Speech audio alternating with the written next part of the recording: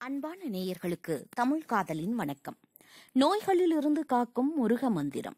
முருகப்பெருமான் நோய் தீர்க்கும் மருத்துவனாகவே திகழ்பவர். இம்மைக்கும் மறுமைக்குமாக அருளக்கூடியவர். முருக மந்திரத்தை தொடர்ந்து ஜபித்து வந்தால் தீராத நோயும் தீரும். இந்த மந்திரத்தை உடல்நிலை சரியில்லாதவர்கள் உச்சரிக்க முடியும் எனில் இந்த மந்திரத்தை ஜபியுங்கள். இயலாதவர்கள் எனில் அவர்களுக்காக எவர் வேண்டுமானாலும் இந்த மந்திரத்தை சொல்லி பயன் பெறலாம். ஓம் பாலசுப்பிரமணிய மகாதேவி புத்ரா சுவாமி வரவர சுவாகா. இந்த மந்திரத்தை எத்தனை முறை முடியுமோ அத்தனை முறை சொல்லுங்கள்.